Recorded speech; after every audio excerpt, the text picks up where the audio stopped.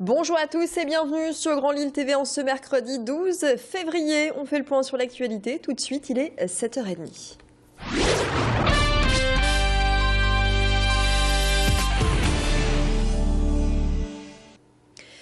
L'actualité dans la métropole lilloise sur Grand Lille TV, on va débuter ce flash par de la culture en ce mercredi.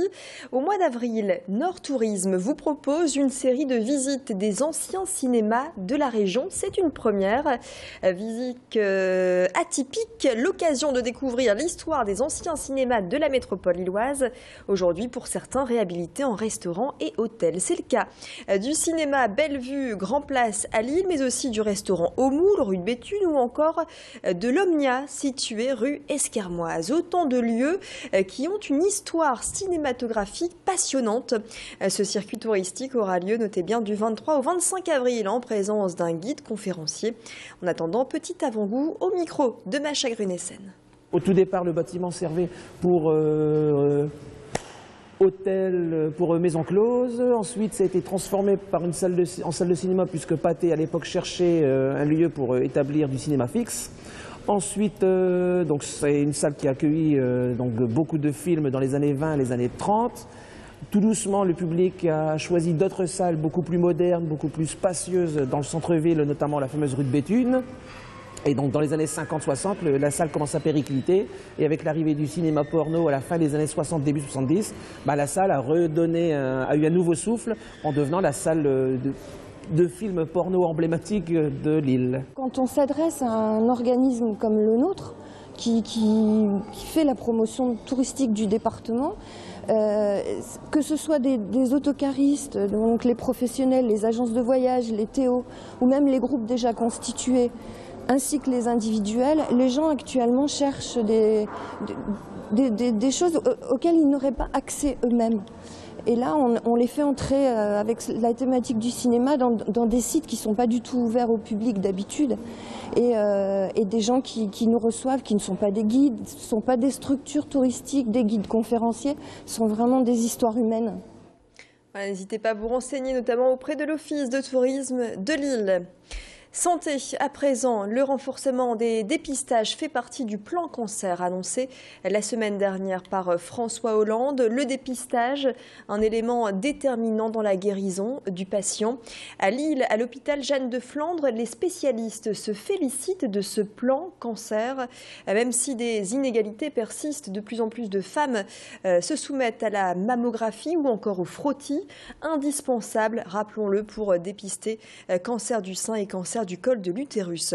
Autre aspect de ce plan cancer, mieux prendre en charge les patientes après une opération pour ainsi favoriser un meilleur retour à la vie sociale et professionnelle. Parce que les résultats, parce que les pronostics des cancers qui sont pris en charge sont de meilleurs, euh, sont plus favorables, ce qui permet c'est d'axer le traitement sur la qualité de vie après cancer. Et en fait, pour la plupart des, médecins et thérapeutes qui prennent en charge ces patientes, bien évidemment, le, premier, objectif, c'est de, de, garantir une prise en charge optimale qui pourra euh, permettre une guérison, mais également un deuxième objectif qui est euh, de euh, proposer, de réaliser ces traitements avec le moins de séquelles possible, tout en pensant à l'après-cancer. Direction Villeneuve d'Ascq à présent avec une exposition qui ouvrira ses portes ce vendredi, le 14 février. Expo consacrée aux œuvres de Meret Oppenheim, une artiste allemande née à Berlin en 1913 et qui a marqué le surréalisme. Photos, tableaux, masques lui ont été inspirés par son côté féministe et engagé. Découvrez également des autoportraits. Meret Oppenheim revendiquait l'idée qu'en chaque homme et chaque femme, il y a une part masculine et féminine. L'artiste n'avait pas eu d'exposition consacrée à ses œuvres depuis 30 ans en France. C'est chose faite donc au LAM à Villeneuve d'Ascq. Explication au micro de Tanguy Lécluse. Pour elle, l'homme et la femme sont à la fois féminins et masculins. C'est aussi une idée de Jung, ce, a, ce que Jung appelle l'animus et l'anima. D'une certaine manière, nous sommes animés par une polarité homme-femme. Et elle considérait qu'en tant qu'artiste, elle l'était peut-être encore un peu plus que les autres et qu'elle était chargée finalement d'en faire la démonstration dans ses œuvres et dans sa vie. Donc, c'est plus cette idée d'une liberté totale, d'une indétermination assez nette qui l'a rendue, qui a fait d'elle une icône du féminisme sans qu'elle le choisisse comme un combat. Une expo à voir jusqu'au 1er juin au euh, LAM. Tout est parti d'un défi lancé avec sa fille Gilliane. Valérie Villemot est devenue auteure de livres fantastiques. Cette habitante de l'homme vient de sortir Arcanum, le deuxième volet d'une trilogie. L'histoire d'une lycéenne qui fait partie du peuple des Arcans, peuple d'anciens dieux grecs. Cette trilogie est dans la lignée de Twilight bien connue des plus jeunes. Pour Valérie, le troisième volet est déjà en préparation et c'est sa fille qui se charge de dessiner les couvertures de ses bouquins rêve devenu réalité dans l'espoir de trouver un éditeur.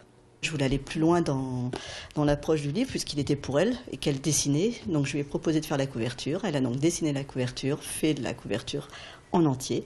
On a fait donc, euh, on a proposé donc ça à l'imprimeur qui nous a rendu un beau livre tout neuf, tout joli, et euh, le livre était né. Je laisse les, les lecteurs euh, s'amuser, imaginer, et puis, une fois que j'aurai terminé mon travail avec Gilliane, qu'on aura vraiment euh, créé quelque chose à deux, qui sera terminé, là, éventuellement, je proposerai à des maisons d'édition et elles verront si ça leur plaît ou pas.